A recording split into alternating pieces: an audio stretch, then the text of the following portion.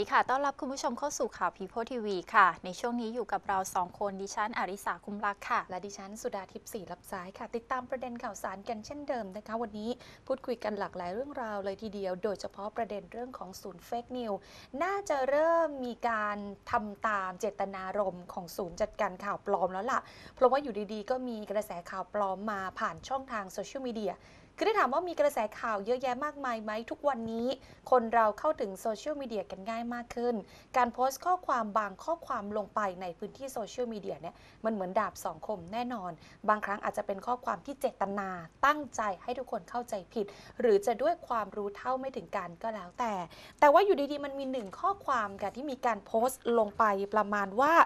บันเทิงแล้วละเหมือนมีผู้ป่วยติดเชื้อโคโรนาเข้ามารักษาตัวอยู่ที่โรงพยาบาลจุดจุดจุด เหมือนประมาณว่าเป็นโรงพยาบาลที่ใกล้เคียงกับบ้านของผู้โพสต์ แล้วก็เหมือนเป็นการโพสต์ทิ้งท้ายไว้ว่างั้นก็ไม่ขออยู่แล้วล่ะ ขอไปอยู่ที่อื่นแล้วประมาณนี้ ปรากฏว่าเป็นเรื่องแล้วล่ะค่ะเพราะว่าล่าสุดกระทรวงดีเองเรียกตัวเข้ามาสอบสวน และคนโพสต์ก็ยอมรับว่าเป็นคนโพสต์ข้อความนี้เอง จะเป็นการเชือดไก่ให้ลิงดูหรือไม่ เดี๋ยวต้องมาติดตามกันในเรื่องนี้ด้วยนะคะ นอกเหนือจากนั้นก็ยังมีอีกหลากหลายเรื่องพูดคุยกัน โดยเฉพาะการตั้ง war room ของพรรคร่วมรัฐบาลในการเตรียมความพร้อมสำหรับศึกซักฟอกในครั้งนี้ ไหนว่าไม่ตื่นเต้นอือฮึไหนว่ารับมือได้แต่ปรากฏว่าประชุมกันมาเนี่ยมาครบทั้งองค์ประชุมเลยทีเดียว มาสรุปกันรวมถึงเหมือนจะมีการแผนอ่ามีการวางแผน support กันด้วยหรือเปล่า เดี๋ยวต้องมาพูดคุยกันค่ะ นอกเหนือจากนั้นเองนะคะ เราก็ยังมีอีกหลากหลายเรื่องที่ พูดคุยกันค่ะ โดยเฉพาะเรื่องของพักอนาคตใหม่ ซึ่งก็ยังไม่ได้ปลอดภัยร้อยเปอร์เซ็นต์แม้ว่าจะรอดพ้นคำพิพากษาบางเรื่องไป แต่ยังมีอีกหลายเรื่องที่รอจ่อคิวอยู่วันนี้เดี๋ยวมาฟังสัมภาษณ์จากอาจารย์ปียบุตรแสงกนกกุลกันค่ะ แต่แน่นอนค่ะท่านผู้ชมยังสามารถเพิ่มเติมอีกหนึ่งช่องทาง ในการรับชมข่าวสารจากช่อง People TV ได้ค่ะ เพียงแค่ท่านผู้ชมเข้าไปที่หน้า Facebook นะคะ ไปที่ช่องค้นหา พิมพ์คำว่า People News ที่ช่องค้นหาค่ะ จะมีหน้าจอเพจข่าวขึ้นมาประมาณนี้นะคะท่านผู้ชม เป็นโลโก้สีน้ำเงินตัดแดงตัวหนังสือสีขาวเขียนว่า People News ค่ะ ให้ท่านผู้ชมกดถูกใจและกดติดตามาม เพียงเท่านี้นะคะ ท่านก็สามารถติดตามคุณลุงพลายและรับชมข่าวสารจากช่อง People TV ของเราได้ตลอด 24 ชั่วโมง ไม่พลาดทุกการรับชมข่าวสารของเราอย่าลืมกดติดตามเพจ People News ค่ะ ใช่แล้วค่ะ รวมไปถึงอีกหนึ่งช่องทางของเรานะคะ คุณผู้ชมเองก็สามารถที่จะส่ง SMS เข้ามาร่วมพูดคุยทักทายกัน แล้วก็แสดงความคิดเห็นเกี่ยวกับประเด็นข่าวของเราได้เช่นเดิมผ่านหน้าจอค่ะ ได้ที่หมายเลข SMS นะคะ 4689012 ค่ะสำหรับช่วงนี้นะคะต้องขอขอบคุณผู้สนับสนุนรายการของเราด้วยนะคะ ยาเห็ดลินจือตราเป่าอัน ยาแผนโบราณตาถัง รวมไปถึงผลิตภัณฑ์ตัวอื่นของจาเป่านะคะ มีทั้งสบู่สมุนไพรค่ะ เป็นสูตรผิวมัน ผิวแห้ง ผิวผสม แชมพูมะกรูด ครีมนวดผม แล้วก็ครีมย้อมผมดำจาเป่าสำหรับท่านใดที่สนใจก็สามารถโทรศัพท์เข้ามาสอบถาม หรือสั่งซื้อสินค้าได้ค่ะ ที่หมายเลขโทรศัพท์ 0865779500 ค่ะ โทรมาเบอร์นี้นะคะ ซื้อสินค้าครบ 2,000 บาท รับฟรีไปเลยค่ะ เป็นสบู่นะคะ เรามอบให้กับคุณผู้ชมไปเลยทันทีค่ะ ส่วนการสั่งซื้อที่ซื้อครบ 3,000 บาทนะคะ ก็จะได้รับเป็นผลิตภัณฑ์เก่ากี้ไปค่ะ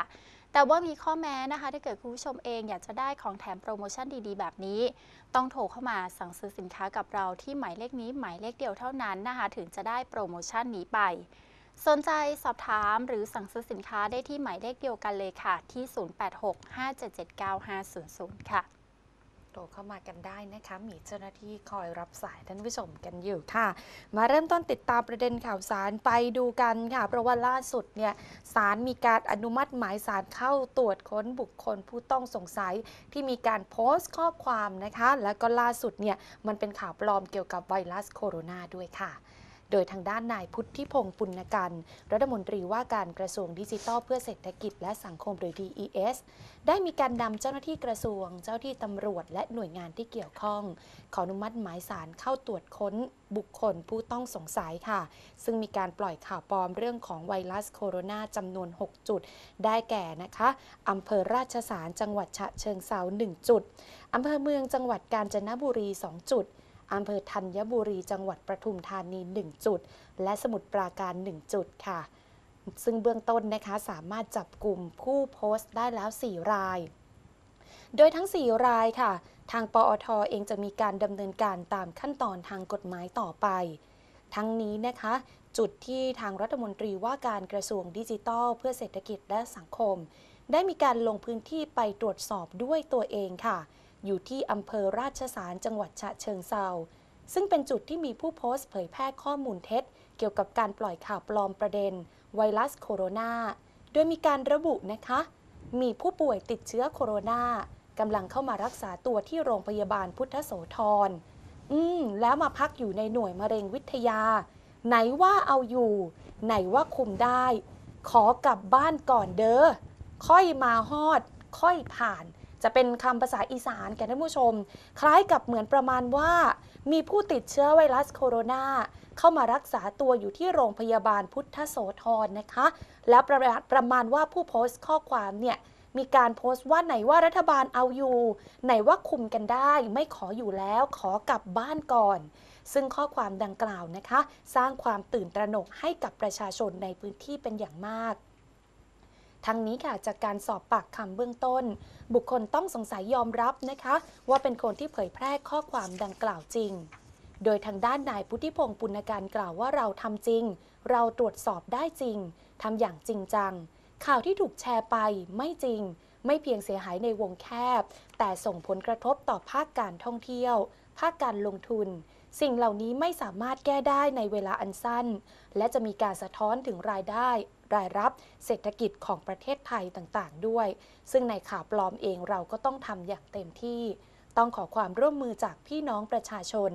โดยเรามีการรวบรวมข้อมูลทั้งหมด ผ่านช่องทางศูนย์ต่อต้านข่าวปลอม ที่พี่น้องประชาชนส่งข้อมูลเข้ามา ซึ่งเรามีการเน้นการทำงานจริงจัง บังคับใช้กฎหมาย ประชาชนเองก็ต้องช่วยกันดำเนินคดีตามกฎหมายทุกราย เดี๋ยวไปฟังเสียงให้สัมภาษณ์ในเรื่องนี้กันค่ะ ขออทางตำรวจก็ขออนุญาตนะครับ ขอหมายสารออกเข้าค้นนะครับวันนี้ 6 จุดนะเราเจอผู้ที่กระทำผิดในเรื่องการปล่อยเฟกนิวส์เนี่ยสจุดนะครับก็มีที่กาญจนบุรีปทุมธานี สมุทรปราการ แล้วก็ฉะเชิงเซานะครับ วันนี้ผมได้มาพูดคุยกับทางน้องเขานะครับ ที่เป็นหนึ่งในคนที่ก็ยอมรับนะครับว่าได้โพสต์ เรื่องเกี่ยวกับไวรัสโคโรนาที่โรงพยาบาลที่อยู่ในฉะเชิงเซาเนี่ยนะครับว่าน้องเขาอยู่ในเหตุการณ์ แต่ว่าจริง ๆ แล้วไม่ได้มีเหตุการณ์อย่างที่น่ากลัวขนาดนั้น แต่เขาเห็นการเตรียมการเห็นป้าย ก็ไปเข้าใจว่าได้ว่ากำลังจะมีคนนำเอ่อคนไข้ที่ติดไวรัสโคโรนาเข้ามาในฉะเชิงเซาอย่างเงี้ยแล้วพอดีน้องเขาอยู่ในโรงพยาบาลด้วย ก็ถ่ายภาพโรงพยาบาลมีห้องที่เอ่อเตรียมไว้สำหรับผู้ที่เอ่อเรียกว่าป้องกันเชื้อโรคอะไรอย่างเงี้ย นะครับก็แชร์ออกไป ก็มีทั้งคนมารับแคปชั่น แล้วไปแชร์ต่อเนี่ยเป็นจำนวนมากนะครับแล้วก็สร้างความตื่นตระหนก เพราะว่าเอ่อเหมือนว่าอยู่ในเหตุการณ์จริงๆนะฮะแต่จริง ๆ แล้วพอมันได้พูดคุยเนี่ยมันยังไม่ถึงขนาดนั้นเป็นแบบก็ก็น้องเขาก็เล่าให้ฟังนะครับว่าเขาก็เอ่อคล้ายๆคาดการณ์ออกไปแล้วก็เป็นห่วงอะไรอย่างเงี้ยนะครัในบบรรดา 6 เคสที่เราไปจับในพื้นที่ต่างๆ เคสที่ใหญ่ที่สุดคือพื้นที่นี้หรือเปล่าครับเอ่อไม่นะครับจริงๆ แต่ละพื้นที่ก็ต่างกันไปนะครับ อย่างของเมืองการก็คล้ายๆ กัน ก็บอกว่ามีเเจอติดเชื้อไวรัสโคโรนาเนี่ยอยู่ที่เมืองกาญจนบุรีให้ระมัดระวังอะไรเนี้ยแล้วก็มีอีกรายหนึ่งเป็นต่างชาติ ซึ่งก็อยู่ในประเทศไทยนะอันนั้นก็เขียนในมุมมองที่ค่อนข้างจะเกินความจริงไปมากนะครับในของอีกสองที่นะครับทั้งปทุมธานีแล้วก็ ปทุมธานีแล้วก็สมุทรปราการนะครับ อันนั้นก็คล้าย ๆกันนะครับ จะเห็นว่าการแชร์อะไรเนี่ยต่อไปอย่างมาก แต่ว่าจะเห็นว่าทั้ง 4-5จุดที่เราเข้าค้นเนี่ยเป็นต้นกำเนิดของคนที่คนแรกะนะครับที่ได้เขียนแล้วก็นำเข้าสู่ เป็นการถแถลงการตรวจค้นนะคะ จากทางด้านคุณพุทธิพงศ์ปุณการรัฐมนตรีว่าการกระทรวงดิจิทัลเพื่อเศรษฐกิจและสังคม คือประเด็นข้อมูลเนี่ยมันมีการโพสต์นะคะข้อความเนี่ยจะเป็นข้อความประมาณภาษาอีสานหน่อย แต่ความหมายเหมือนประมาณว่า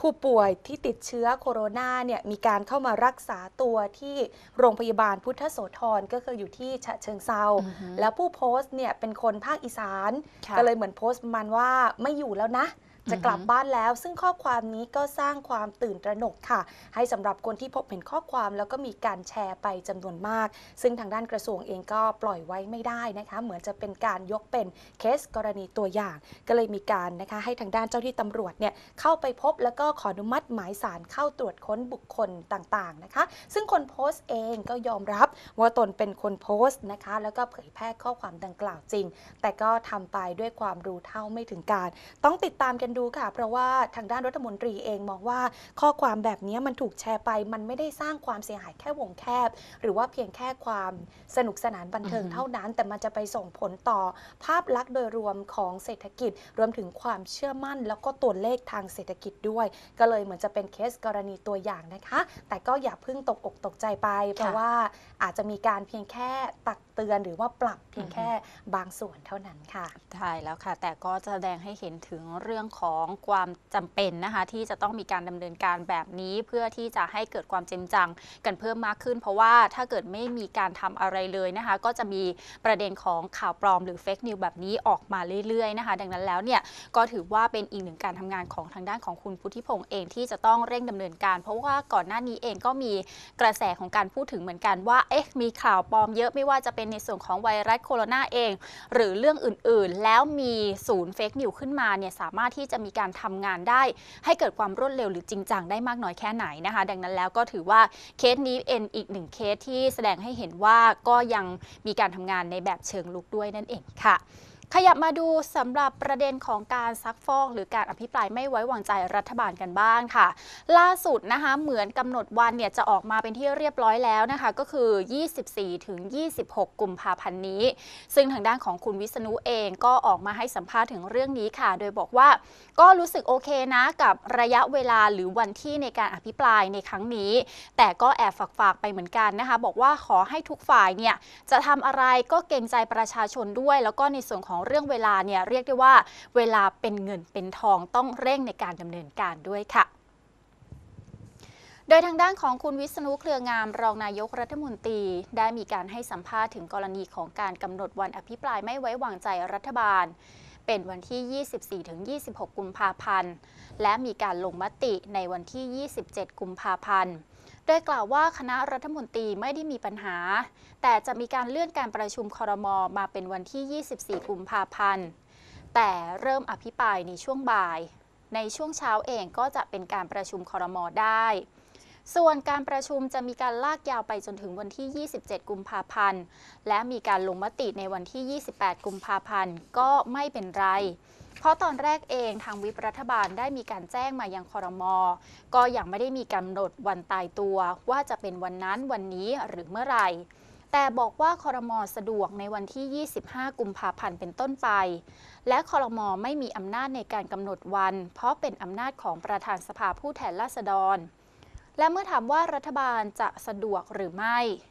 เพื่อที่จะมีการประกอบการตัดสินใจ ซึ่งวิธีการในการปฏิบัติ เช่นนี้ก็ทำมาตั้งแต่อดีต ก่อนหน้านั้นจะมีการอภิปรายโดยไม่ลงมติตามมาตรา 152 ก็เป็นได้ก็ได้มีการประสานไปเช่นนี้ ซึ่งประธานสภาเองก็ไม่ได้มีการเอาตามนั้น แต่เป็นช่วงเวลาที่ใกล้เคียงกัน ซึ่งการอภิปรายในครั้งนั้นก็เป็นการพูดคุยกับรัฐบาลทั้งคณะ จึงต้องมีการกำหนดให้ชัดเจนว่าใครติดอะไรหรือไม่ แต่ครั้งนี้จะหนักที่ตัวของผู้ถูกอภิปรายทั้ง 6 คน ถ้าคนอื่นไม่ว่างก็ไม่เป็นไร ไม่มีปัญหา แต่ครั้งนี้เองจะต้องมีการตรวจสอบกับทางด้านของคุณดอนปรมัตวินัย รัฐมนตรีว่าการกระทรวงการต่างประเทศ เพราะมีกำหนดนัดหมายนะคะที่จะมีการประชุม ส่วนรัฐมนตรีคนอื่นๆ ก็จะมีการสลับสับเปลี่ยนกันได้ และตอนนี้ก็คงไม่มีใครกล้าไปไหน เพราะระวังตัวเรื่องหวัดกันอยู่ด้วยค่ะ ส่วนกรณีที่ทางด้านนายสุพรอัฏฐาวงศ์กรรมการผู้ช่วยรัฐมนตรีประจำสำนักนายกรัฐมนตรี เตรียมตั้งทีมอดีตสสนอกสภาเพื่อพิทักษ์รัฐมนตรี เรื่องนี้จะสามารถทำได้หรือไม่นั้น คุณวิษณุกล่าวว่าไม่ทราบนะคะ ก็เห็นมีคนไปตั้งโต๊ะแถลงที่สภา ไปกอดจูบอะไรกันก็มี ก็เป็นเรื่องที่ผู้ที่เกี่ยวข้องทั้งประธานสภาและเลขาสภาจะเป็นคนดูแล เพราะไม่ทราบว่าจะมีระเบียบวิธีในการใช้ห้องสภาแถลงอย่างไร เพราะตนเคยใช้อยู่ครั้งเดียว เมื่อถามย้ำว่านายสุพรเหมือนจะตั้งทีมอภิปรายฝ่ายค้านกลับคืน คุณวิษณุกล่าวว่าไม่ทราบให้ไปถามเขาเอง และเมื่อถามว่าในส่วนของนายวิษณุเนี่ยไม่จำเป็นต้องให้ใครมาช่วยในการชี้แจงใช่หรือไม่ คุณวิษณุกล่าวว่าตอบไปแล้วค่ะ ไม่ว่าใครใน 6 คนคงไม่ต้องการองครักษ์มาช่วย เพราะเมื่อสสเองก็ต้องทำหน้าที่พิทักษ์เป็นองครักษ์ เรื่องข้อบังคับการประชุมสภาก็เป็นเรื่องของเขา การจะมาพิทักษ์โดยลุกขึ้นตอบแทนหรือสู้แทนไม่ควร เพื่อจะมีการต่อเวลาให้ยาออกไปเปล่าๆ เพราะเวลาเป็นเงินเป็นทอง แค่ 3-4 วันก็ไม่พออยู่แล้ว แต่ถ้าจะดูแลรักษากฎระเบียบต่างๆ ที่บางครั้งอาจไม่ได้ยิน เขาก็ทำหน้าที่ประท้วงเพื่อบอกให้ประธานรู้ และให้ประธานชี้ขาด ส่วนการที่นายชวนหลีกภัยประธานสภา จะทำให้บรรยากาศการอภิปรายเรียบร้อยขึ้นหรือไม่นั้น เราคาดหวังอย่างนั้นทุกครั้ง แต่ผลอาจจะไม่ได้เป็นไปตามนั้น การอภิปรายไม่ไว้วางใจเป็นเรื่องใหญ่ที่สุด โดยสำหรับการตรวจสอบรัฐบาลจึงมีผู้สนใจ มีประชาชนจับตาดูมาก ฉะนั้นถ้าไม่เกรงใจประธานก็ช่วยเกรงใจประชาชนหน่อยซึ่งตนก็มีการพูดเผื่อไปถึงทุกฝ่าย ทั้งฝ่ายค้าน ฝ่ายรัฐบาลและฝ่ายประท้วง ไปฟังเสียงให้สัมภาษณ์จากคุณวิษณุเครืองามกันค่ะ ตั้งทีมขึ้นมาเพื่อจะอ่าเรียกว่าช่วยรัฐมนตรีจะเรียกว่าองครักษ์องค์องครักษ์ก็ได้ ตรงนี้อย่างล่าสุดนี้ในส่วนของคุณลัมโบเนี่ยคุณสุภาพทาวงศ์เนี่ยจะตั้งทีมนอกสภาคือเป็นทีมอดีตสสก็ไม่รู้ผมไม่ทราบไม่ได้ยินตรงเลมันยทำได้ไหมคะมันไม่ก็มันก็ไม่เคยมีนะคะ ลักษณะแบบเนี้ย ก็ไม่ทราบก็สภาผมเห็นคนนั้นคนนี้ไปตั้งโต๊ะแถลงเถลิงก็มีกอดจูบอะไรกันก็ยังมีก็ไม่เห็นจะ อะไรมันก็เป็นเรื่องที่ผู้เกี่ยวข้องท่านประธานหรือท่านเลขาสภา ก็เป็นคนเอ่อดูแลเขามีระเบียบวิธีในการใช้ห้องสภาแถลงยังไงผมก็ไม่ทราบ เกิดมาเคยไปใช้แถลงอยู่หนเดียวเมื่อตอนเลื่อนพิธีพยุหญาตราชลมากอะแล้วก็ไม่เคยไปใช้ก็เลยไม่รู้เหมือนกับว่าเขาจะอภิปรายคืนอภิปรายฝ่ายค้านคืนไม่ทราบก็อันนั้นก็ไปไปถามเขานะฮะ แต่ว่าในในลักษณะแบบนี้มันในระเบียบในระเบียบสภาในอะไรอย่างนี้มันทำได้นะที่ผ่านมามันก็ไม่เคยมีลักไม่ษณะแบบไม่นี้ทราบนะในส่วนของไม่อาจารย์ไม่รู้อันนี้ผมไม่รู้ ในส่วนของอาจารย์ณวันนี้อาจารย์ก็ยังยังยืนยันว่าไม่จำเป็นต้องให้ใครมาช่วยอาจารย์ใช่ไหมคะได้ตอบไปแล้วเมื่อวานว่าไม่ว่าใครก็ตามในหกคนเนี่ยคงไม่จำเป็นต้องการองครักษ์มาช่วย แต่เมื่อเขาจะต้องทำหน้าที่พิทักษ์รักษา ข้อบังคับ ข้อบังคับการประชุมสภาก็เป็นเรื่องของเขา เพราะฉะนั้น จะมาพิทักษ์แบบลุกขึ้นตอบแทนสู้แทน หรือว่าพาดพิงอะไรเงี้ยไม่ไม่ควร ผมผมนั่งนึกอยู่เลยว่า ในเวลาตอบแต่ยมันมีบางคำตอบที่พาดพิงถึงคน ซึ่งบังเอิญมองซ้ายมองขวาแกก็นั่งอยู่ในสภาซะด้วยแต่อย่างเงี้ยถึงจะพาดพิงก็ไม่ควรจะจะตอบอะไรก็เป็นการบรรยากาศเออมันมันยาวออกไปเปล่าๆเวลาเป็นเงินเป็นทองสามวันสี่วันจะไม่พออยู่แล้วแต่ว่าสำหรับการดูแลรักษากฎระเบียบอันนั้นนะบางทีท่านประธานท่านก็ อาจจะพลาดไปหลงไปหรือว่าไม่ได้ยินก็เลยไม่รู้คนข้างล่างเขาได้ยินเขาก็ลุกขึ้นเขาก็ทำได้แค่ประท้วงแล้วประธานก็ชี้ขาดเท่านั้น การประท้วงคือการบอกให้ประธานรู้ทางนี้ปันน่าจะเรียบร้อยอ่าขอทุกขึ้นไหมคะว่าคุณชวนก็แม่นในเรื่องข้อบังคับ แล้วก็หลายคนก็ยังเกรงในความป็นเราก็ไปคาดหวังอย่างนั้นมาทุกครั้ง แต่ผลมันก็อาจจะไม่ได้เป็นไปตามที่กำหนดทุกครั้ง แต่ว่าก็การอภิปรายไม่ไว้วางใจเป็นเรื่องใหญ่ ที่สุดอย่างที่ท่านประธานชวนพูดสำหรับการตรวจสอบรัฐบาล จึงมีผู้สนใจมีประชาชนจับตาดูมากฟังมาก ฉะนั้นก็ก็ต้องบอกว่าไม่เกรงใจท่านประธาน ก็ช่วยเกรงใจประชาชนชาวบ้านหน่อยที่พูดเผื่อไปทั้งฝ่ายค้านฝ่ายรัฐบาลฝ่ายประท้วงฝ่ายอะไรก็ตามที่ทุกฝ่ายนั่นแหละคุณภาพจารย์คะเมื่อวานสปคมาพอาจารย์ก่อน มาฮะมามาพูดคุยเรื่องกรณีที่ดินเอ่อไม่ตอบไม่ใช่ ไม่ใช่ ไม่ได้เอ่ยถึงเลย เป็นการพูดในในหลักการทั่วไป เพราะว่าเขามีปัญหาอะไรบางอย่าง ก็ก็ไม่ได้มาแต่เขาอะมาหน่วยอื่นด้วย เป็นสิ่งที่เคยสอบถามสำนักงานกฤษฎีกาแล้วยังไม่ได้คำตอบนะคะหรือเปล่าอ่าเป็นส่วนหนึ่ง เมื่อวานผมได้เชิญกฤษฎีกามา ซึ่งกฤษฎีกาก็แจ้งว่าคงจะตอบได้ในวันสองวันนี้คำ ตอบที่ออกมามันจะสามารถใช้ไม่ทราบผมผมไม่ทราบว่าจะตอบยังไง ไม่รู้ แล้วก็เลยแนะเข้าไปเลยว่า ถ้าอ่านคำตอบแล้วยังไม่เข้าใจ ก็ช่วยประสานกับเจ้าหน้าที่ ไม่ใช่กรรมการนะเจ้าหน้าที่กฤษฎีกาเนี่แหละค่ะเป็นการให้สัมภาษณ์จากทางด้านของคุณวิษณุเครืองามรองนายกรัฐมนตรีนะคะสำหรับวันที่จะมีการอภิปรายไม่ไว้วางใจรัฐบาลค่ะ ซึ่งก็หน้าที่จะจบลงแล้วนะคะ ก็คือในส่วนของวันที่ 24 ถึง 26 กุมภาพันธ์ ส่วนการลงมติเนี่ยน่าจะเป็นวันที่ 27 กุมภาพันธ์ แต่ประเด็นก็คือเดี๋ยวต้องไปสอบถามนะคะ ทั้งในส่วนของรัฐบาลด้วยสำหรับผู้ที่จะถูกอภิปรายทั้ง 6 คน เพราะว่าเหมือนหนึ่งในนั้นเนี่ยน่าจะมี การติดภารกิจนะคะที่จะต้องมีการบินไปต่างประเทศอย่างทางด้านของคุณดอนปรมัตวินัยค่ะ เดี๋ยวต้องไปดูว่าจะสามารถดำเนินการในส่วนของการที่จะมีการอภิปรายในวันนั้นได้ด้วยหรือไม่ ส่วนคนอื่น ๆ เองก็ไม่น่าที่จะมีปัญหาอะไรนะคะ เพราะว่าคนอื่นน่าจะมีการสลับสับเปลี่ยนกันมาได้ด้วยเช่นเดียวกัน ส่วนประเด็นของการที่บอกว่าอะพอมีการอภิปรายแบบนี้แล้วเนี่ยจะมีการตั้งองคลักษ์พิทักษ์รัฐมนตรีหรือไม่นะคะ คุณวิษณุเองบอกว่า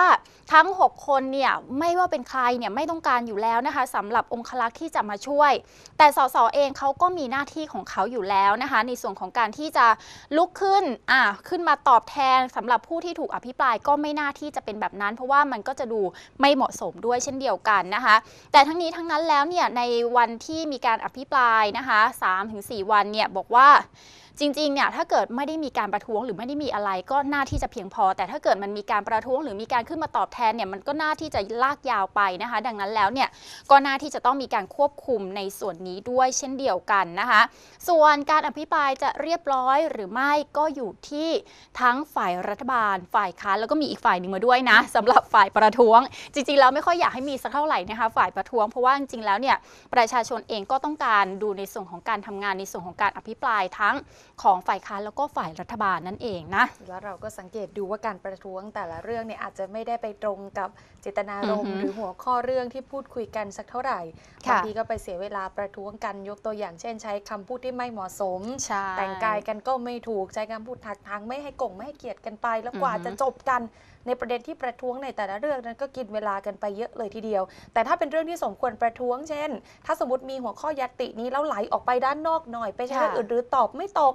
ศึกไม่ไม่ตรงกับสิ่งที่สอบถามไปหรืออฮึซักฟอกไป ตรงนั้นน่ะประท้วงได้คือค่ะประท้วงให้ดึงกลับมา แต่ถ้านอกเรื่องไปในสักนิดนึงเนี่ยมันก็อาจจะต้องมีการควบคุมหน่อย ซึ่งหน้าที่ตรงเนี้ยสำคัญที่หยุดก็ก็อยู่ที่ประธานสภาผู้แทนราษฎรด้วยค่ะที่จะมีการดูแลในเรื่องนี้ก็ต้องรอดูกันนะอือคะฮึแต่หลายคนก็อาจจะเป็นกังวลไปค่ะว่าพักร่วมรัฐบาลเองก็จะมีปัญหาในเรื่องของการเตรียมรับศึกซักฟอกดีหรือเปล่า ปรากฏว่ามีอีกหนึ่งท่านที่ออกมาโวนะคะนั่นคือสสบัญชีรายชื่อ พลังประชารัฐ ที่ยืนยันว่าศึกซักฟอกครั้งนี้นี่แหละ ที่ทำให้ฝ่ายรัฐบาลเนี่ยยิ่งรักแล้วก็ยิ่งผูกพันกันมากยิ่งขึ้นกว่าเดิมด้วยซ้ำค่ะโดยท่านนั้นคือทางด้านนายวิรัตรัตนเศษสสบัญชีรายชื่อพักพลังประชารัฐ ในฐานะประธานคณะกรรมการประสานงานพักร่วมรัฐบาลหรือวิปรัฐบาลค่ะ ยืนยันว่าการอภิปรายไม่ไว้วางใจในวันที่ 24 กุมภาพันธ์ เวลา 13นาฬิกา30 นาที จนถึงวันที่ 26 กุมภาพันธ์ หากไม่แล้วเสร็จค่ะ ก็สามารถอภิปรายต่อในวันที่ 27 กุมภาพันธ์ และลงมติในวันที่ 28 กุมภาพันธ์ได้ส่วนรายละเอียดในการอภิปราย ว่าจะเริ่มอภิปรายจากรัฐมนตรีคนใดก่อน หรือจะเริ่มต้นตามรายชื่อในยัตติ และเมื่ออภิปรายเสร็จแล้ว จะให้รัฐมนตรีแต่ละคนตอบ ซึ่งตนจะไปประสานกับทั้งวิฝ่ายค้านและฝ่ายรัฐบาล เพื่อที่จะเตรียมการอภิปรายจนเกิดความราบรื่น ซึ่งตนเองก็จะไปทำเนียบรัฐบาล เพื่อพูดคุยกันในรายละเอียดกับผู้ที่เกี่ยวข้อง ตนยืนยันว่าเราไม่มีองครักษ์แต่เรียกว่าเป็นกลุ่มทำงานที่ช่วยกันดูแลการอภิปราย โดยแบ่งออกเป็น 3 กลุ่มที่ชื่อว่า อสว ซึ่งการอภิปรายครั้งนี้ จะทำให้ฝ่ายรัฐบาลมีความรักความผูกพันกันมากขึ้น ซึ่งจะเป็นการช่วยกันเตรียมข้อมูล ดูแลการอภิปราย เพื่อให้เกิดประโยชน์สูงสุด โดยทั้ง 3 กลุ่มจะทำงานร่วมกัน ไปไหนด้วยกัน อบรมสัมมนาก็ไปด้วยกัน โดยในวันที่ 21-23 กุมภาพันธ์ เป็นการพบปะแลกเปลี่ยนความคิดเห็น ในส่วนของพรรคร่วมรัฐบาล ประมาณ 50-60 คน ที่พัทยาจังหวัดชนบุรี เมื่อถามถึงปัจจัยเกี่ยวกับการที่สารรัฐธรรมนูญ จะมีการวินิจฉัยยุบพักอนาคตใหม่ในวันที่ 21 กุมภาพันธ์ จะนำมาพิจารณาด้วยหรือไม่ นายวิรัตกล่าวว่าเรายังไม่คิดถึงเรื่องนี้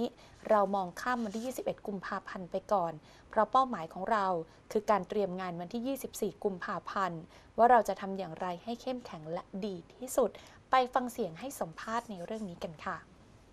ต่างคนต่างแยกเข้าไปหาข้อมูลทั้งสามกลุ่มก็ทำงานร่วมกัน แต่ก็ในแต่ละชุดก็มีหัวหน้ากลุ่มดูแล แต่ในขณะเดียวกันก็ก็ทำงานด้วยกันแหละครับ เวลาไปไหนเราก็ไปด้วยกัน อยากจะไปอบรมหรือสัมมนาอะไรเราก็จะไปด้วยกันไปพร้อมกัน อย่างอย่างที่ท่านบอกว่าดูแลเรื่องพักร่วมเนะครับจะมีการพูดคุยกันกับพักร่วมเริ่มช่วงไหนบ้าง ก็เริ่มมาแล้วฮะเริ่มมาเรื่อยๆเพราะการประชุมวิปแต่ละครั้งเนี่ยเราก็ได้มีการประสานไปยังพักร่วม ก็พักร่วมเราก็ต้องยอมรับนะฮะเรามีถึง 20พักเนี่ยมันก็กว่าจะเจอแต่ละท่านแต่ละท่าน แต่ทั้งนี้ทั้งนั้นก็ไม่ได้เป็นปัญหาหรอกครับ เราก็ทำมาโดยเป็นปกติอยู่แล้ว มีเรื่องที่อยากบอกหรือว่าอยากเตือนไปถึงฝ่ายค้านไหมครับว่าการพิปรายแบบนี้มันอาจจะทำให้อ๋อการคงคงคงไม่ต้องเตือนอะไรนะครับ ก็เราก็คือผมมีหน้าที่มาประสานประสานให้ ให้เกิดความราบรื่นในการอภิปรายนะครับ ส่วนจะโดนกระแนะกระแหนมาบ้างเล็ก ๆ น้อยๆก็อะไรทนได้ก็เราก็ทนไปไม่มีปัญหาอะไรฮะในหลักการที่ว่าถ้าเป็นแต่เรื่องเก่าๆในอดีตเราจำเป็นต้องมีการลุกขึ้นประท้วงอะไรต่างๆอ๋อในส่วนนั้นก็เป็นในส่วนของที่ท่านสุชาติชมกลิ่นท่านชาดา แล้วก็ท่านนริศขำนุรักษ์ที่ได้ยื่นต่อท่านประธานสภาเกี่ยวกับเรื่องยติ ขอให้แก้ไขยติที่ใช้คำไม่เหมาะสม ก็ท่านประธานก็บอกว่าบรรจุไปแล้วแก้ไม่ได้ก็เราก็ไม่ได้ติดใจอะไร แต่ทั้งนี้ทั้งนั้นก็อยู่ที่ตัวท่านที่เขียนยติเสนอขึ้นไปว่าท่านจะติดใจอยู่หรือเปล่า ก็ลองสอบถามท่านสุชาติชมกลิ่นดูก็ได้ท่านครับอย่างปัจจัยเกี่ยวกับคดีของพรรคอนาคตใหม่ที่จะสารรัฐมนูญจะวินิจฉัยจะมา อยู่เป็นปัจจัยที่ว่าเราจะวิเคราะห์ต่อการอภิปรายไม่ไว้วางใจไหมอ๋อตอนนี้เราเราเราไม่คิดถึงตอนนั้นฮะเราคิดถึงแต่ว่าวันนี้ทำยังไงที่เรามีเป้าหมายอยู่ที่วันที่ 24 เลย วันที่ 21 เราก็มองข้ามไป มองข้ามไปก่อน เพราะว่าเป้าหมายเรานี่เตรียมงานสำหรับวันที่ 24 เตรียมให้เข้มแข็งแล้วก็เตรียมให้ดีที่สุดนะครับ เรื่องของการประท้วงเรากังวลไหมครับว่าอ๋อไม่ไม่ยังยังยังยังไม่พูดฮะเรื่องการประท้วงหรืออะไรเพราะว่า ขอให้เป็นไปตามหน้างานที่ที่งานที่เกิดแล้วกันเห็นเห็นว่าจะมีสัมมนาสสกันเลย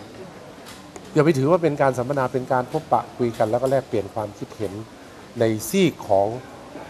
ส่วนของรัฐบาล ที่ว่าจะไปพัทยาชลบุรีก็ก็น่าจะดีที่สุดและใกล้ที่สุดนะ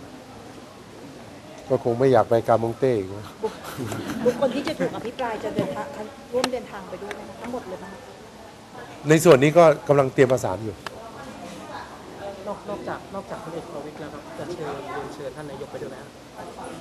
อันนี้ยังยังยังยังไม่ทราบเหมือนกันอันนี้ก็คือเราเป็นฝ่ายที่รวมกลุ่มเพื่อที่จะเตรียมงานอ่างานเรื่องนี้ แต่ในเรื่องผู้ที่จัดงานก็อยู่อีกท่านหนึ่งซึ่งเดี๋ยวกำลังจะเตรียมการอยู่ แล้วก็จะมาแจ้งให้ทราบ จากวันนี้ไปจนถึงวันที่ 24 นี่คงจะต้องมีโอกาสได้ลงมา แถลงอีกหลายรอบที่ที่ที่จะไปพัทยานี่มีเฉพาะพรรคพลังประชารัฐใช่ไหมหรือพรรคอื่นด้วยครับก็เป็นพักร่วมรัฐบาลก็ทุกไม่ได้พักแก้พรรคครับครับ คราวนี้จะเป็นพักร่วมรัฐบาลเกือบทุกพัก แล้วก็ไม่ใช่ว่าเป็นจำนวนมากก็เป็นกลุ่มเล็ก ๆ อยู่ประมาณสักห้าสิบหกสิบท่านเนี่ยประมาณนั้น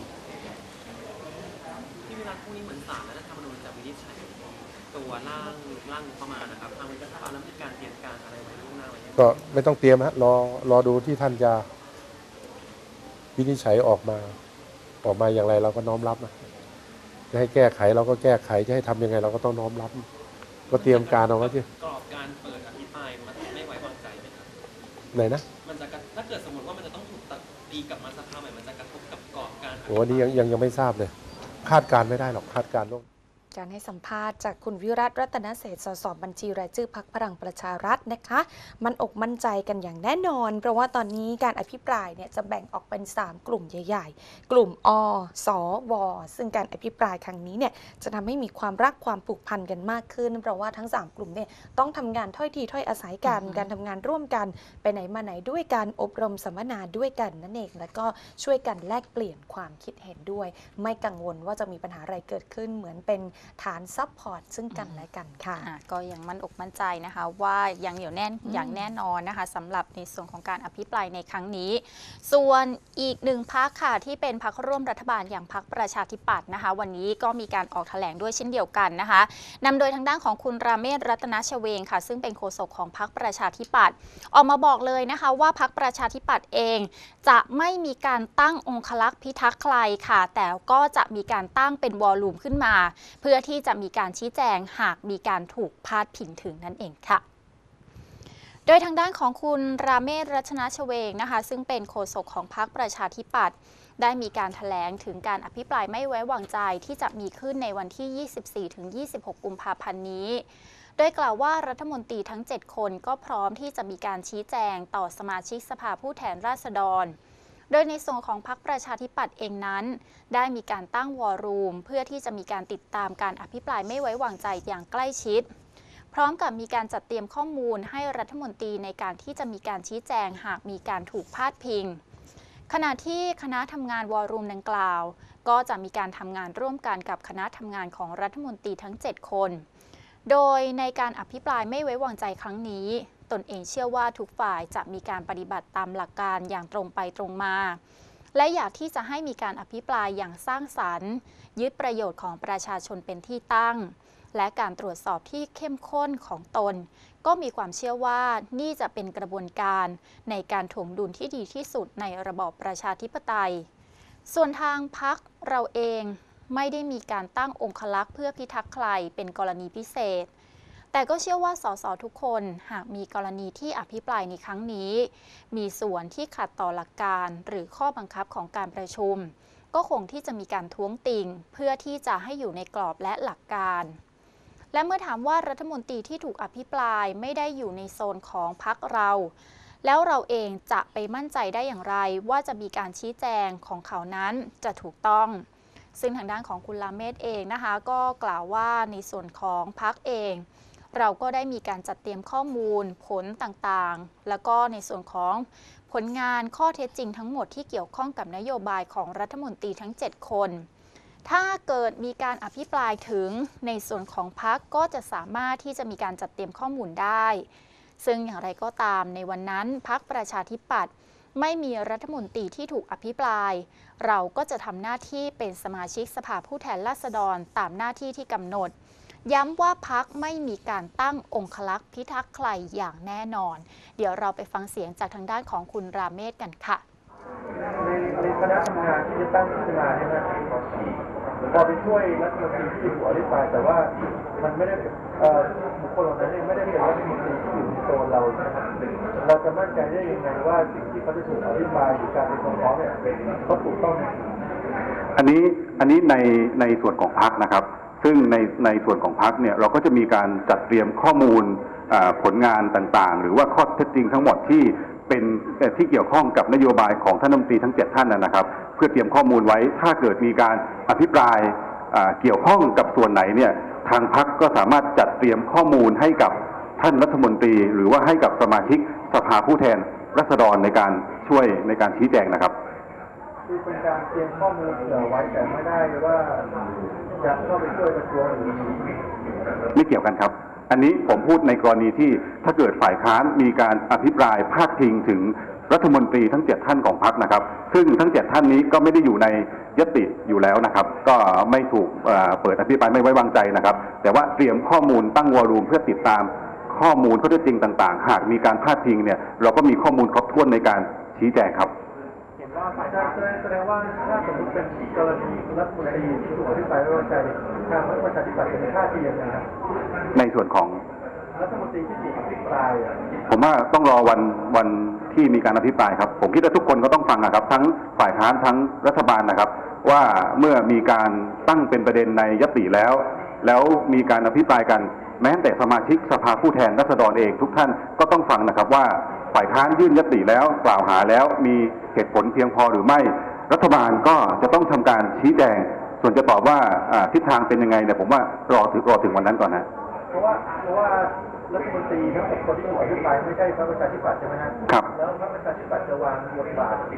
ในห้องประชุมวันนั้นยังไงทำหน้าที่สมาชิกสภาผู้แทนรัษฎรตามปกติตามหน้าที่ที่กำหนดครับ แต่เหมือนที่ผมบอกว่า ไม่มีการตั้งองค์องครักษ์เพื่อพิทักษ์ใครนะครับ แต่ถ้าเกิดมีกรณีการทำผิดข้อบังคับ หรือว่าเป็นกรณีของการผิดไปจากหลักการกระบวนการอภิปรายปกติ การท้วงติงให้อยู่ในกรอบในหลักเกณฑ์ที่ถูกต้อง อันนี้เป็นหน้าที่ของสสอยู่แล้วครับเห็นฝ่ายค้านบอกว่า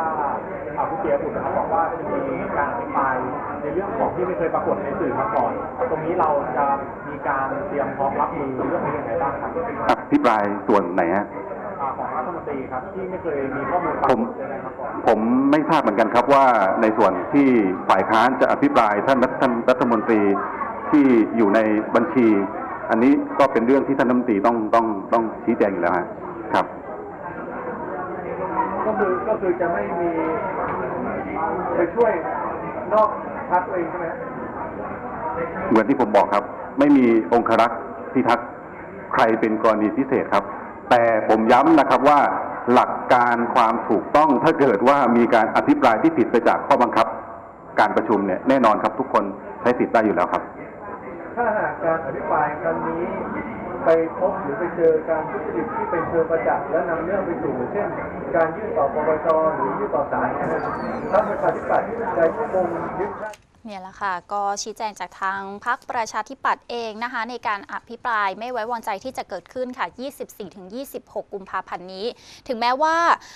ในฝากฝั่งของพักประชาธิปัตย์เองจะไม่มีรัฐมนตรีในการที่ถูกอภิปรายนะคะ แต่เขาจะมีการตั้งวอลลุ่มขึ้นมาค่ะ ซึ่งในส่วนของการตั้งวอลลุ่มนี้เนี่ยเพื่อที่จะเป็นการติดตามการอภิปรายไม่ไว้วางใจอย่างใกล้ชิดเท่านั้น โดยยืนยันนะคะว่าไม่ได้มีการตั้งองคลักษ์พิทักษ์ใครอย่างแน่นอนนะคะ แล้วก็มีการย้ำว่าในส่วนของการทำหน้าที่ของพรรคประชาธิปัตย์ถึงแม้จะไม่มีอ่าในส่วนของรัฐมนตรีที่ถูกอภิปราย แต่ก็จะมีการเข้าทำหน้าที่ของตนในฐานะที่เป็น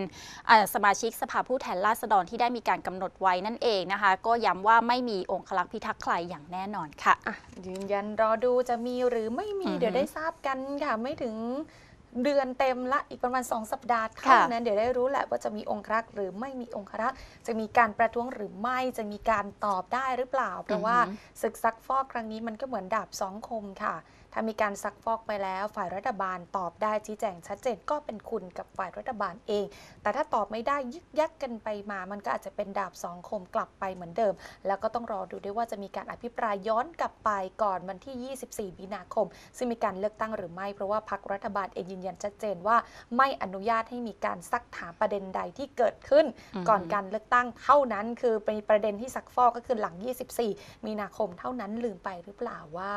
รัฐมนตรีก็ชุดเดิมตั้งแต่ที่มีการปฏิวัติกันมา 5 ปีนั้นด้วยนะคะ ก็เดี๋ยวต้องรอดูค่ะ มาดูฝากฝั่งพักอนาคตใหม่กันบ้าง คือพักอนาคตใหม่เขาก็ติดใจในกับกกตนี่แหละค่ะ หลายเรื่องเลยทีเดียว โดยเฉพาะล่าสุดที่เขาส่งคัดอาส่งหลักฐานส่งอะไรไป กกตก็ไม่ได้รับหลักฐานสักทีหนึ่งจนล่าสุดนะคะปรากฏว่าสารรัฐธรรมนูญเนี่ยมีคำสั่งไม่อนุญาตให้ไต่สวนคดีพักอนาคตใหม่กู้เงินหัวหน้าพักคุณธนาธรจึงรุ่งเรืองกิจเพิ่มเติม ด้วยข้อมูลนะคะต่างๆ ที่บอกว่าเหมือนเป็นการส่งเอกสารล่าช้า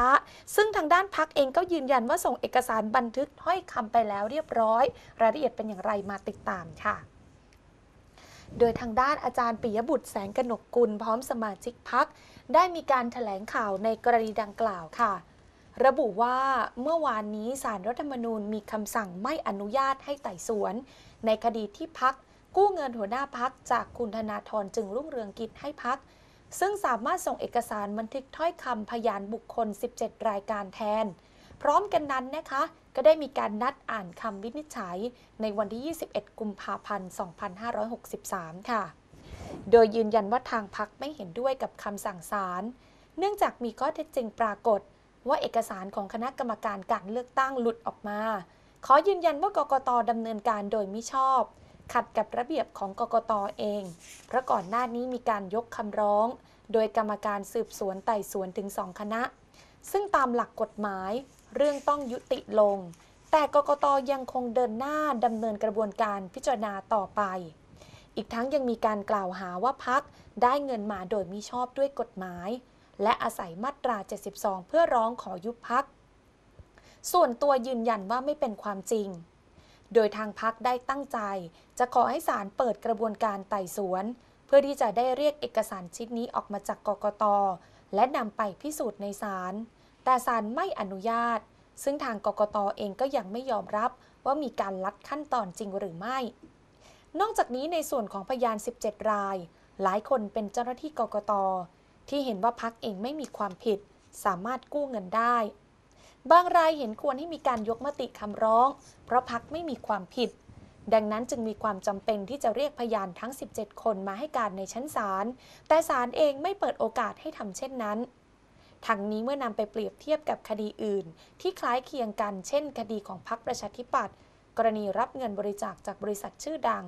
ซึ่งส่วนตัวพบว่ามีการเปิดโอกาสให้สู้กันในชั้นศาลตามปกติค่ะ นอกจากนี้นะคะ ทางด้านของคุณปิยบุตรยังได้มีการกล่าวถึงเรื่องของเมื่อวานนี้นะคะ ที่ประธานสภาอย่างทางด้านของคุณชวนหลีกภัย ได้มีดำริเรียกให้พักร่วมรัฐบาลมาพบ แล้วก็มีการพูดคุยกัน ตกลงกันว่าในท้ายที่สุดแล้วจะมีการเริ่มต้นของการอภิปรายไม่ไว้วางใจวันใด ซึ่งเบื้องต้นเองทางฝ่ายค้านได้มีการเสนอเป็นวันที่ 24 กุมภาพันธ์ โดยจะมีการใช้เวลาอยู่ที่ 3 วัน มีการลงนัตติในวันที่ 28 ซึ่งก็ได้มีการทำการตกลงกันเรียบร้อยแล้ว กระทั่งศาลมีคำสั่งออกมาในช่วงเย็น จากตารางเวลาข้างต้นทำให้หลายคนวิเคราะห์กันว่า พักอาจจะถูกยุบพักก่อนถึงวันอภิปรายไม่ไว้วางใจหรือไม่ และหากเป็นเช่นนั้นเป็นที่เป็นความจริงก็จะทำให้เสียงของพักอนาคตใหม่หาย และส่งผลให้รัฐบาลรอดพ้นจากภาวะการเสียงปริ่มน้ำหกรัฐมนตรีก็อาจจะรอดจากการถูกอภิปรายไม่ไว้วางใจด้วย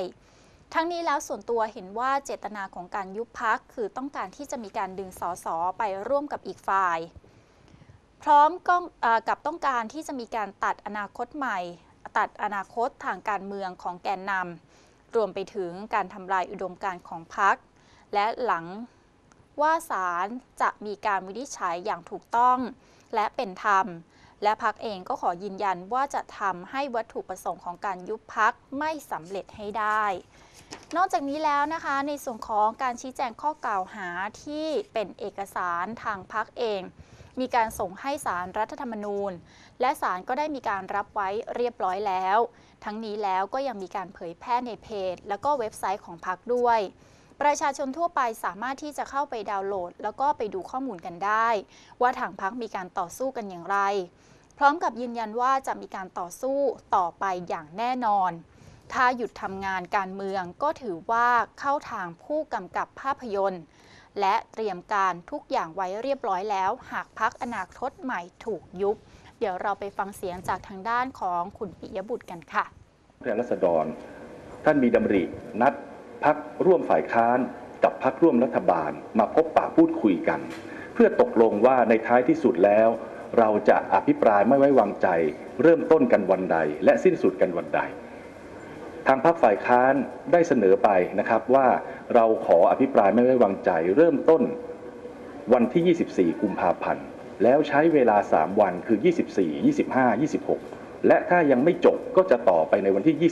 27 และไปลงมติกันในวันที่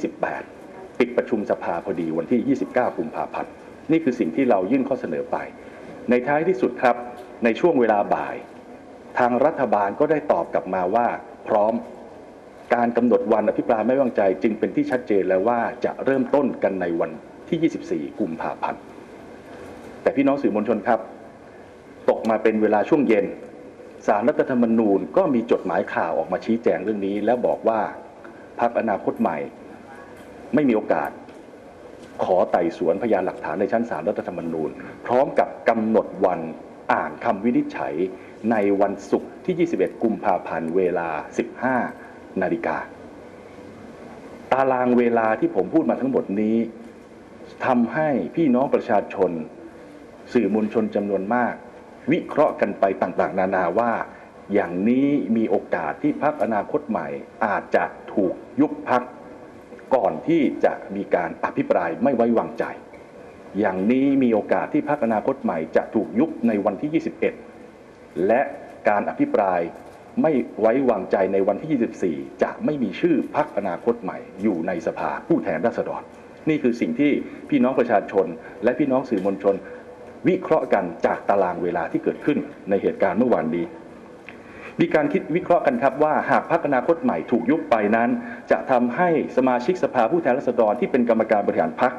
จะถูกตัดสิทธิ์และไม่มีโอกาสอภิปรายไม่ไว้วางใจ มีการวิเคราะห์กันไปว่าหากพรรคถูกยุบจะทำให้สสของพรรคบางส่วน ย้ายไปสนับสนุนซีกรัฐบาล มีการวิเคราะห์กันว่าหากพรรคอนาคตใหม่ถูกยุบจะทำให้เสียงของพรรคร่วมฝ่ายค้านหายไปทำให้ สภาวะรัฐบาลเสียงปริ่มน้ำหมดไปได้ทำให้รัฐมนตรีทั้ง 6 ท่าน รอดพ้นจากการอภิปรายไม่ไว้วางใจครั้งนี้ไปได้ แต่อย่างที่ผมเรียนอยู่เสมอๆครับว่าภาพยนตร์ที่ชื่อว่ายุบพักดำเนินการมาแล้วหลายครั้งในรอบ 13 ปีที่ผ่านมา ผู้กำกับภาพยนตร์ต้องการอะไรครับ ต้องการดึงสสต้องการให้การยุบพักเกิดขึ้น แล้วดึงสสไปร่วมอีกฝ่ายหนึ่ง ต้องการตัดสิทธิแกนนำไม่ให้มีบทบาทในทางการเมือง ต้องการทำลายความคิดอุดมการณ์ของพรรคการเมืองนั้นๆ ไม่ให้เขาได้เติบโตไม่ให้เขาได้ต่อสู้ในทางการเมืองต่อไป เมื่อเรารู้ว่าวัตถุประสงค์ของผู้กำกับภาพยนตร์ที่ชื่อว่ายุบพักต้องการแบบนี้ วิธีการต่อสู้กับการยุบพักที่ดีที่สุดคือ ต้องทำให้วัตถุประสงค์ของผู้กำกับภาพยนตร์ที่ชื่อว่ายุบพักไม่สำเร็จให้ได้แล้วครั้งนี้มีวัตถุประสงค์เพิ่มมาอีกข้อหนึ่งแล้วครับ ตามการวิเคราะห์ของสื่อมวลชนและประชาชนจำนวนมากนั่นก็คือ ต้องการไม่ให้พวกเราได้อภิปรายไม่ไว้วางใจ ผมเรียนพี่น้องสื่อมวลชนอย่างนี้ครับ เรายังคงเชื่อมั่นในความยุติธรรม เรายังคงเชื่อมั่นว่าสารรัฐธรรมนูญ จะวินิจฉัยคดีนี้อย่างถูกต้องและเป็นธรรม และพวกเราพักอนาคตใหม่ ยืนยันว่าจะทำให้วัตถุประสงค์ของการยุบพักครั้งนี้ไม่สำเร็จให้จงได้ เรายืนยันว่าเรามั่นใจว่า สมาชิกสภาผู้แทนราษฎรของพรรคอนาคตใหม่ จะได้อภิปรายไม่ไว้วางใจเป็นครั้งแรกในนามพักอนาคตใหม่ และในท้ายที่สุดต่อให้ผู้กำกับภาพยนตร์เรื่องนี้เดินหน้ายุบพักให้ได้ สมาชิกสภาผู้แทนราษฎรของพัก แม้ว่าพักจะถูกยุบก็ตาม สมาชิกสภาผู้แทนราษฎรของพักก็จะคงเดินหน้าอภิปรายไม่ไว้วางใจ เป็นการถแถลงนะคะ จากทางด้านคุณปิยบุตรแสงกนกกุลค่ะ เรื่องนี้เดี๋ยวทางด้านของพักอนาคตใหม่เองก็ก่อนหน้านี้คือพยายามที่จะมีการส่งหลักฐานไปแล้วถ้ายังจำกันได้มั้งแต่กรณีที่ส่งหลักฐานไปแล้ว กกตเองก็ยืนยันว่ายังไม่ได้หลักฐาน และก็ไม่ได้มีการเรียกสอบพยานหลักฐานเพิ่มเติมนะคะ ซึ่งตรงนี้เองทางพักตั้งใจว่าจะขอให้ศาลเนี่ย แฟร์ไปเลยเปิดกระบวนการไต่สวน แล้วก็ขอเรียกเอกสารชิ้นนี้ออกมาจากกกตเพื่อนำไปพิสูจน์ในศาลแต่ศาลก็กลับไม่อนุญาตด้วย และก็ปรากฏว่าไปพบว่าเอกสารของคณะกรรมการการเลือกตั้งเนี่ยหลุดออกมา มันหลุดออกมาได้ยังไง ก็เลยสงสัยว่าการทำงานของกกตนั้นดำเนินการโดยมิชอบด้วยหรือไม่ ก่อนหน้านี้เองนะคะก็มีการประสานงานไปกับคุณชวนหลีกภัยมาแล้วเขาก็มีการเรียกมาพูดคุยกันทำข้อตกลงกันนะคะ แต่ว่าสุดท้ายแล้วเจตนาของพักพักกับมองว่าสุดท้ายแล้วเหมือนจะเล่นงาน ให้พักอนาคตใหม่เนี่ยถูกยุบพักอืมก็เลยเหมือนเหมือนมีการทั้งประวิงเวลาเอ่ยมีปัญหาเรื่องของหลักฐานเอ่ยก็เลยเหมือนจะต้องมีการออกมาพูดคุยกันในเรื่องนี้แหละค่ะ เป็นอย่างไรก็รอเตรียมการกันไว้ เพราะว่าทางด้านพักอนาคตใหม่เองก็เหมือนจะรู้เกมแหละค่ะ อาจจะต้องทำให้เหมือนพักอนาคตใหม่ทิ้งท้ายว่าเหมือนเข้าทางผู้กำกับนะ เหมือนจะรู้เลยว่าบทสรุปแล้วเนี่ยจะจบยังไง จบที่พักอนาคตใหม่เนี่ยจะถูกยุบพักเลยหรือไม่ จะเป็นอย่างไรก็คงจะต้องติดตามกันต่อไปนะคะ ช่วงนี้ท่านผู้ชมไปพักชมสิ่งที่น่าสนใจกันสักครู่เดียวค่ะ ช่วงหน้ายังมีข่าวสารที่น่าสนใจรอท่านผู้ชมกันอยู่ อย่าเปลี่ยนหน้าจอไปไหนค่ะ